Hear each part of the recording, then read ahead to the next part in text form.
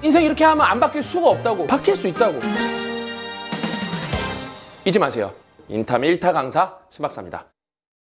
불끄러기 여러분 안녕하십니까 신박사 TV의 신박사입니다. 오늘도 여러분과 함께 떠나는 인생 탐구 시간입니다. 오늘 아주 유익한 얘기입니다.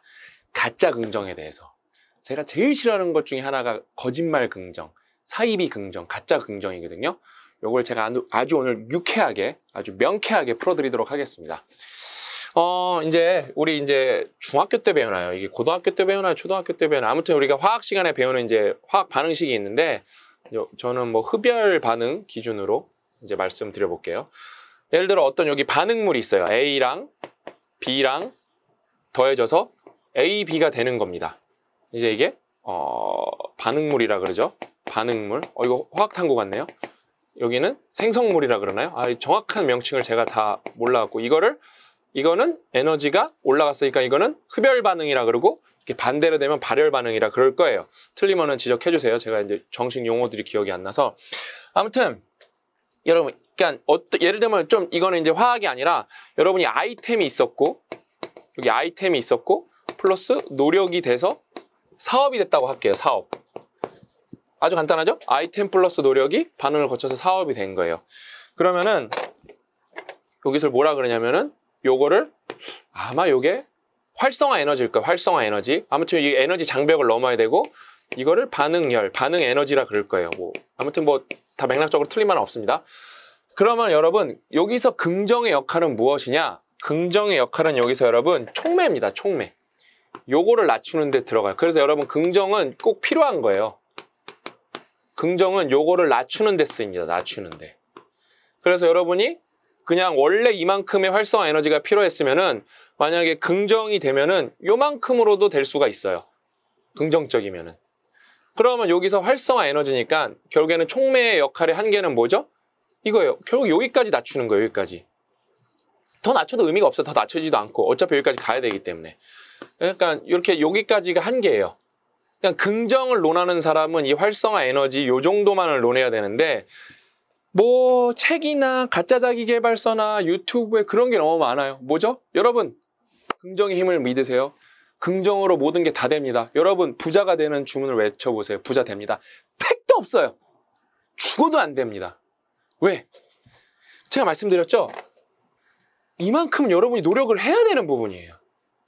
노력을 해야 돼요. 이 에너지는 뭐, 뭐 방법이 없어요. 도망갈 방법이. 그러니까 똑똑한 사람들은 여러분 뭐냐면은요, 요거를 촉매로서 잘 줄이는 거예요. 예? 근데 아, 안 똑똑한 사람들은 뭐냐? 멍청한 사람들은 부정이어서 이걸 키우는 거예요. 부정으로 키우는 거예요. 그러니까 긍정이 안 중요한 게 아니라 긍정이 엄청 중요해요. 여러분 촉매가 얼마나 중요한데 화학 반응에서. 예? 촉매 없으면 반응이 안 일어나는 경우도 있어요. 에너지가 모자르면 못 넘어간다니까요. 이 반응 활성화 이 배리어를 못 넘어간다니까요. 그래서 여러분 가짜 긍정이 너무 많아요. 그래서 아무튼 이만큼의 노력이 필요하다. 예? 이만큼의 뭐 반응열, 진짜 에너지, 여러분이 새로운 물질이 되는데 에너지가 무조건 필요하기 때문에 긍정만으로는 택도 없습니다. 긍정은 진짜 디폴트예요. 그래서 이제 제가 여기서 조금 더 이제 우리 졸꾸러기 여러분들은 독서를 좋아하시니까 심화로 가볼게요. 그럼 우리가 강조하는 독서. 독서를 여기다가 좀 해볼게요. 그럼 독서는 여기서 어떤 역할이냐? 독서는 여기서 두 개가 있는 것 같아요. 독서는 촉매가 될 수 있습니다. 여기도 관여할 수 있고 그 다음에 이 아이템 독서는 이렇게 두 개로 들어갈 수 있는 것 같아요. 독서는 반응물에서 하나의 소스가 될 수 있어요. 내가 모르는 게 있었는데 독서를 통해서 뭔가 새로운 사실을 알게 돼서 아, 이거 사업을 해보면 좋겠다. 그 다음에 여기는 뭐예요? 아 이렇게 이렇게 있었는데 책을 읽어보니까 뭔가를 좀 많이 알게 되는 거예요. 예를 들어 내가 운동을 하는데 운동법에 대해서 조금 많이 알게 되는 거예요. 그래서 더 효과적으로 운동을 해서 에너지는 조금 들어가는데 아웃풋은 확 늘어나는 거죠. 그래서 독서는 독서는 여러분 이 반응물에서 소스가 될 수가 있고 이 촉매가 될 수 있습니다. 제가 왜 굳이 독서를 갑자기 말하냐?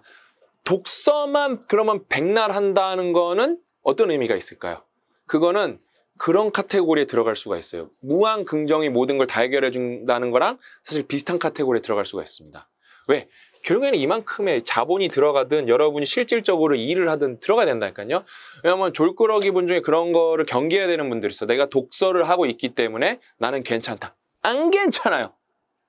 일을 하시고 try 하시고 필요하면 여러분 시간 투자를 하시고 여러분 자본 투자를 하시고 뭔가를 하셔야 돼요. 이만큼을 무조건 해야 돼요. 무조건 이만큼을. 예? 이만큼을 무조건 해야 돼요. 그 다음에 독서는 요, 근데 요거랑 좀 연관돼 있는 게 있어요. 독서는 좀 그래도 되게 매직 키워드인 게 뭐냐면은 요게 뭐냐면은 여러분이 만약에 아이템을 잘 잡으면은 요거 자체를 낮출 수가 있어요. 이거 자체를 낮출 수가 있어요. 왜냐면 아까 A, B는 이제 이거 두 개가 합쳐져서 되는 거기 때문에 근본적으로 어떤 A, B가 합쳐지냐에 따라서 최후의 이 들어가는 에너지도 바뀌는 거거든요. 최후에 들어가는 총량 에너지로 바뀌는 건데 요걸 잘 잡으면 여러분 요걸 낮출 수가 있습니다. 요걸 낮출 수가 있어요. 그래서 여러분 공부는 그러면은 독서랑 똑같냐? 요 얘기도 제가 좀 해드리려고 그랬는데 여러분 공부는 크게 두 개예요. 교양 공부 그 다음에 전공 공부예요. 교양 공부는 독서입니다. 지식의 탐색이에요, 탐색. 그러니까 그 다음에 전공 공부는 지식의 심화입니다, 심화. 그래서 전공 공, 교양 공부는 아까 독서, 여기랑 연결이 돼요. 근데 여러분이 그냥, 그냥 내가, 그러니까 재미로 책을 읽는 거는 정말 문제가 없어. 내가 책 읽는 목적이 뭐지? 그냥 단순히 재미다. 즐거움이다. 휴식이다. 그럼 교양 공부만 해도 아무 문제가 없습니다. 목적 자체가 그거기 때문에. 근데 여러분이 책을 읽는 행위가 내 인생에서 도움이 됐으면 좋겠다. 그게 정서적 만족감을 넘어서 실질적으로 이게 돈이 됐으면 좋겠고 어떤 내 사업에 도움이 됐으면 좋겠다. 그럼 여러분은 결국에는 심화를 하셔야 돼요. 그러면 뭐다? 그러면은 좀 어려운 책도 많이 읽어야 되고 관련된 책도 많이 읽어야 되고 읽은 거를 읽은 거에서 절대 끝내면 안 되고 무조건 적용해 보려 그래야 돼요. 네? 그 다음에 좀 캐 들어가야 되고 따져봐야 되고 자료도 찾아보고. 네? 그 다음에 그러니까 일단은 독서만 따졌을 때는 개독을 좀 해야 돼요. 관련 분야의 독서를 좀 이어서 하면서 좀 깊게 파고 들어가야 돼요. 그래서 또 결국에는 어려운 책도 많이 봐야 돼요. 네? 그래서 정, 그러니까 전공 공부는 결국에는 여기, 요 영역, 어? 이 심화 영역이 필요해요. 진짜로 내가 뭔가를 해야 돼요. 네? 촉매는 결국에 여러분 반응에는 관여하지 않아요.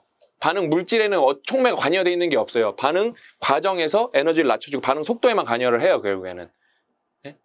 근데 전공 공부는 좀 달라요.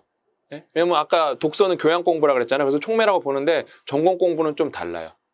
그러니까 여러분이 나중에 예를 들면은 조금 여러분이 쉽게 전공을 조금 더 쉽게 해서 여러분을 요식업, 사업이라고 한다고 쳐볼게요.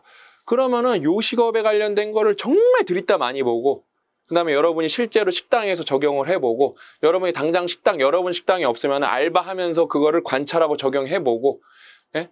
그 다음 아니면 최소한 소비자로서 과, 내가 책에서 본 걸 그냥 머릿속에 두는 게 아니라 내가 소비자로서 이 식당은 이렇게 잘하고 있나 그다음에 최소한 이 식당이 잘 되나 그런 것도 확인을 해보고 그렇게 어떤 심화의 과정이 있어야 돼요. 응? 그렇게 심화의 과정이 있어야 됩니다. 그래서 오늘 가짜 긍정으로 시작을 해서 우리 추억의 화학 반응식이라 그러나요? 아무튼 이 뭐라 그런지 이 정식 명칭을 교과서에서 뭐라 그러는지 제가 까먹었는데 아무튼 이 가짜 긍정으로 시작을 해서 오늘 이제 독서 그다음에 이제 지식 이제 뭐 공부까지 가봤는데 아무튼 여러분 다시 한번 강조하지만 긍정은 되게 중요합니다. 촉매이기 때문에 그래서 항상 디폴트로 갖고 있어야 돼요. 왜냐하면 긍정을 갖고 있으면 유리합니다. 힘든 상황에서 에너지를 낮추면서 그거를 인계점을 넘어갈 수 있는 확률이 높아져요. 근데 확률이 높아지는 거지 그걸로 결론 나는 게 아무것도 없어요. 그래서 가짜 긍정을 경계해야 됩니다. 긍정이면 다 된다. 그런 거 없습니다. 예? 내가 믿었더니 어느 날 아침에 내가 꿈꾸던 집이 펼쳐 있더라. 그런 거 없습니다. 아셨죠? 우리 졸꾸러기 여러분들은 진짜 찐 긍정 그러면서 플러스 실천까지 하시면서 정말 긍정을 통해서 힘든 장벽을 낮추고 그 다음에 여러분이 정말 지식의 심화를 통해서 원하는 레벨까지 꼭 올라가셨으면 좋겠습니다. 오늘 이야기는 여기까지고 다음 시간에 더 알찬 내용을 찾아뵙도록 하겠습니다. 또 만나요.